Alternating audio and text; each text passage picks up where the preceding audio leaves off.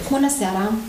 Eu sunt Rodica Boca, uh, medic primar medicină de laborator, managerul Societății Dorna Medical. Suntem la Realitatea Medicală și în această seară avem invitat pe domnul doctor Cristian Gândilă, medic specialist psihiatru în cadrul Societății Dorna Medical și pe doamna psiholog uh, Nicoleta Bândilă, care a intrat de curând în echipa noastră, în cadrul cabinetului de psihologie, alături de psihiatri și ceilalți specialiști ai Societății Dorna Medical. Ne gândim în seara asta să tratăm un subiect care este de mare actualitate și care interesează pe toată lumea, uh, și anume depresia, pe lângă alte aspecte ale activității de psihiatru și psiholog pe care uh, dumnealor uh, o exercită. Haideți să ne spuneți, domnul doctor Cristian Bândilă, cine sunteți, de când lucrați la Dorna Medical, cum ați ajuns să veniți în Bucovina Uh, unde ați terminat studiile și ce faceți acum? Bună ziua dumneavoastră și telespectatorilor! Uh, mă numesc Bândele Cristian. Uh, facultatea de medicină am făcut-o la Cluj-Napoca, în Centrul Universitar Cluj-Napoca. Apoi formarea profesională tot în Centrul Universitar Cluj. Cum v-ați gândit să ajungeți la Dorna Medical? Noi ne-am întâlnit în Bistrița. Da, m-am profesat și acolo o perioadă. În momentul în care ați venit dumneavoastră cu oferta și mi-ați prezentat clinica care mi s-a părut deosebită și condițiile de lucru și oportunitățile care se pot, uh, care pot apărea. Da, pentru un medic tânăr este deosebit ca să îți faci toată munca, uh, bineînțeles că sub uh, îndrumarea șefilor dumneavoastră, dar a prelua pacientul, a-l trata, a urmări rezultatele, asta este extraordinar. Doamna psiholog este soția domnului doctor. Da. Sunt împreună și la servici și acasă. A intrat de curând în echipa noastră. Haideți să ne spuneți câteva cuvinte despre dumneavoastră. Da, bună seara! Mă numesc Nicoleta Bândilă. Am terminat de curând facultatea de psihologie la Babeș la Cluj-Napoca. Am făcut și masteratul Uh, cu formarea în psihoterapie cognitiv-comportamentală, psihologie clinică. După terminarea facultății de psihologie, um, am uh, luat dreptul de liberă practică la Colegiul Psihologilor pe mai multe specialități, în psihologie aplicată, pe psihologia transporturilor, psihologia muncii, psihologie judiciară, unde uh, se ocupă cu testarea la poligraf, ceea ce este o parte mai sensibilă, mai rară, Uh, și cea de clinică, consilierea cognitiv-comportamentală și psihoterapia cognitiv-comportamentală, care în momentul de față este cea mai bine susținută științific față de multe alte forme de psihoterapie existente, gen psihanaliză, umanistă, ericksoniană. Da, e laudabil că ați reușit să faceți atâtea cursuri. Înțeleg că în cadrul Colegiului Psihologilor, libera practică vă este determinată de toate aceste aplicații care sunt separat. Îmi închipui că nu lucrează cu poligraful orice psiholog, deci trebuie să fie o pregătire specifică și ne-am uh, confruntat chiar legat de transporturi, la fișele, inclusiv la preschimbări și pentru elevii care termină școlile de șofer, nu se pot adresa oricărui psiholog, trebuie o specializare în sensul ăsta. În cadrul uh, Policlinicii Dorna Medical mai există încă un psiholog cu care suntem și în contract cu Casa de Asigurări. Asigurăm servicii conexe în cabinetul de psihiatrie de adult și psihiatrie de copii. Vom face asta și în cadrul cabinetului de diabet. Asta este extraordinar pentru că în urma unei consultații, pacientul poate beneficia de ședințe psihologice gratuite cu care ajutăm și psihiatru să ne zică, domnul doctor, ce important este ca pacientul să fie văzut și de psiholog în ajutorul tratamentului medicamentos. Iar legat de celelalte uh, cursuri și aplicații pe care le-ați uh, avut, uh, e vorba de pacienții care se prezintă trimiși de psihiatru sau uh, Um, la inițiativa lor pentru psihologie clinică, de fișe auto, așa cum am spus, um, și de celelalte uh, competențe pe care dumneavoastră le aveți. Domnul doctor, haideți să ne spuneți pe înțelesul telespectatorilor și al nostru, care e diferența între psihiatru și psiholog? Ce trebuie să facă un pacient? Unde se adresează prima dată? Ce poate să-i facă un medic? Cu ce îl ajută psihologul? Când îl trimite din nou psihologul la psihiatru? Cum colaborați în, în cadrul cabinetului? Fiindcă foarte frecvent se face o confuzie între psihiatru și psiholog, trebuie să clarificăm un pic uh, lucrurile. Psihiatru, în primul rând, face facultatea de medicină, șase ani de zile. După aceea, se face specializare în sensul ăsta, adică rezidențiat, ca și orice specialitate, cardiologie, chirurgie uh, și altele. Uh, psihiatrul uh, pune diagnostice și intervine într-o anumită maladie uh, medicamentos. Psihologul uh, uh, intervine mm, pe alte căi, în, în terapia maladiilor.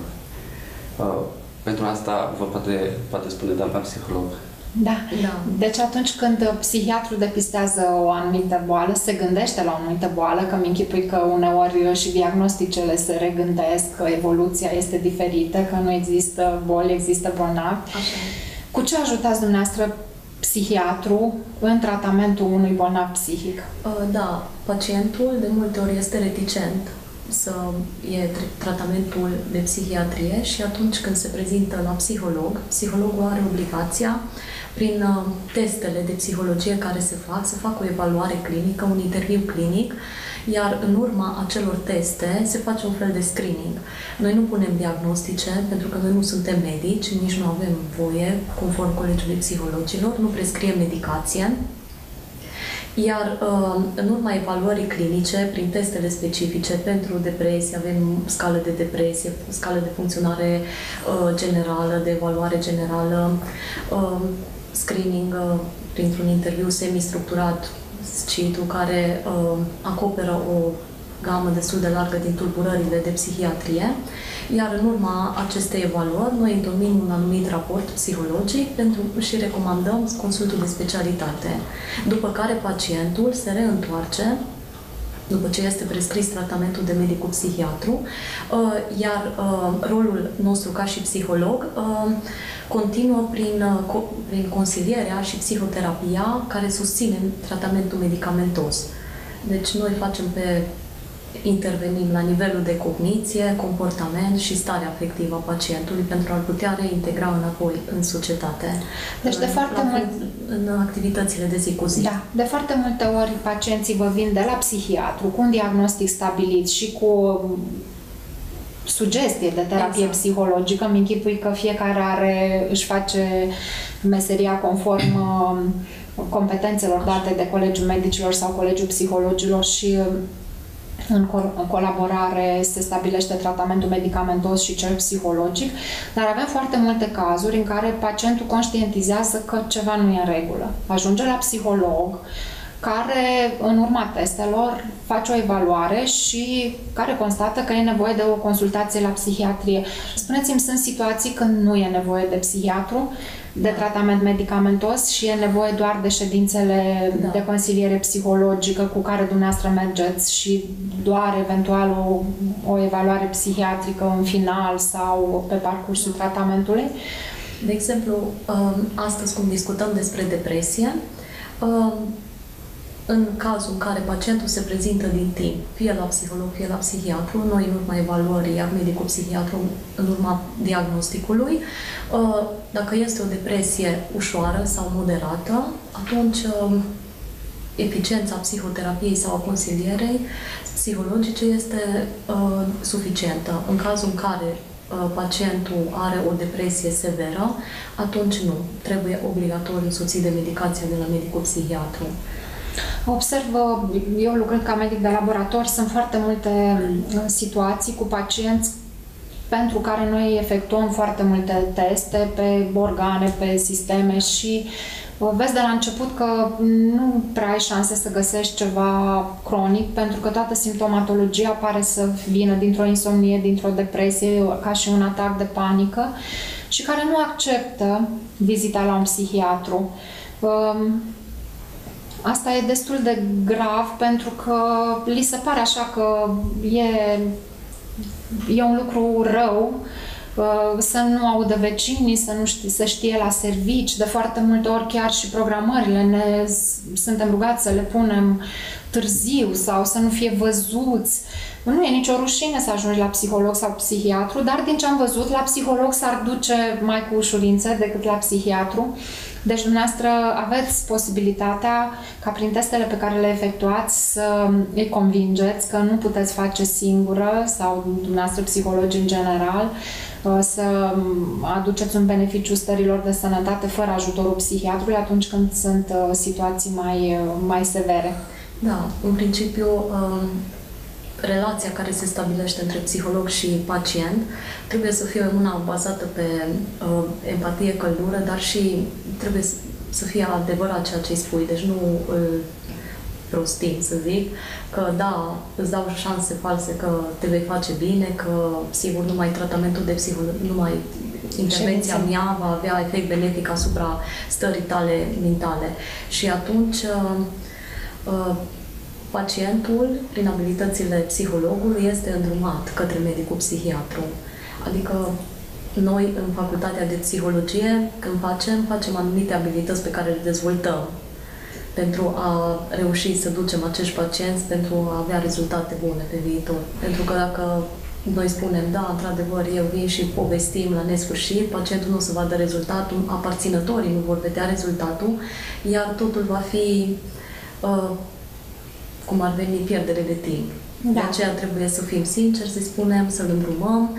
Alegerea este a pacientului dacă dorește să își facă programarea sau să consulte medicul psihiatru, doar că noi avem... Și care psihiatru, deci nu se condiționează niciun fel de consultație într-un anumit cabinet, își alege exact. medicul care dorește să-l urmărească, iar noi exact. avem obligația să colaborăm cu orice medic uh, care a văzut cândva un pacient, tocmai pentru a ști când să-l trimitem înapoi, ce exact. schemă de tratament, dacă trebuie regândită, că mi închipui că și posologia, deci trebuie adaptată în funcție de evoluția bolii și vizitele trebuie re, refăcute uh, la cabinetele medicilor de specialitate. Uh, haideți să vorbim despre subiectul pe care ni l-am ales pentru astăzi, de depresie. Domnul doctor, foarte mulți pacienți depresivi, care ar fi prevalența și cât este de frecventă depresia în cadrul populației generale și când trebuie să ne alarmăm că ar fi o problemă, mai ales în uh, vremurile astea foarte stresante și opositoare și grele pentru marea majoritate a populației. Uh, ce ne puteți spune despre asta? Din păcate, depresia a crescut în incidență. Cam 8, 8, între 8 și 20% dintre, din populație se confruntă cu tulburare afectivă. Uh, și din păcate din acest procentaj doar uh, 25% se prezintă, dintre care 50% sunt uh, diagnosticați greșit. Uh, s-a observat uh, o incidență mai crescută în, uh, la sexul feminin, raportul fiind de 2 la 1 în favoarea lor. Uh, din păcate, cam 10-15% dintre acestea evoluează spre suicid.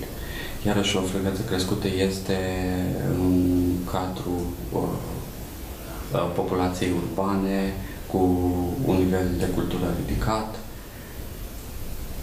și trebuie foarte bine insistat uh, asupra aparținătorilor, că și, anuma, uh, și a eventualilor pacienți, ca la cel mai simplu simptom, să se prezinte la psihiatru, la psiholog.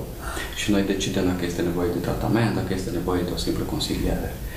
Uh, iarăși trebuie să punem uh, accent pe riscul de suicid uh, în cadrul depresivilor și să se ia în serios orice declarație din partea unui viitor pacient, să spunem, chiar dacă o spune în glumă, chiar dacă o spune când este iritat, când este nervos, uh, aparținătorii să se alarmeze și să-l trimită la ori la un psiholog, ori la un psihiatru, pentru că ca să descriu așa niște etape ale suicidului. În prima etapă, uh, pacientul cochetează cu ideea se gândește, uh, ia în calcul posibilitatea unui suicid și uh, mai apar momente care îl stimulează în sensul ăsta, adică o personalitate se sinucide sau uh, cineva din familie și îi oferă o soluție.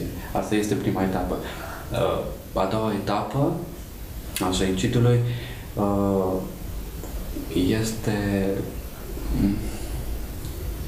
este completată de ambivalența uh, pacientului, se gândește, este dacă ar trebui să se sinucide, dacă nu, uh, emite mesaje în sensul ăsta, uh, spune aparținătorul celor apropiați că uh, că ar vrea să se sinucide și cum să se sinucide. Și este așa numitul cry for help. Și a treia etapă este reprezentată de decizie. Și atunci pacientul începe să disimuleze totul. Dintr-o dată este vesel, totul este ok. Uh, să nu atragă atenția. Exact. Zice că totul este ok. Și atunci uh, își pregătește totul. Deja și-a ales metoda prin, prin care să o facă și din păcate se, se ajunge la suicid. Bărbații uh, de obicei aleg uh, metodele mai violente. Uh, pacienții de sex feminin aleg metodele mai ușoare, ca și medicația, un supradozaj sau ceva de da. Vom discuta despre asta după pauză. Sunt lucruri foarte interesante pe care telespectatorii o să le audă din partea unui psihiatru și a unui psiholog. Revenim după o pauză.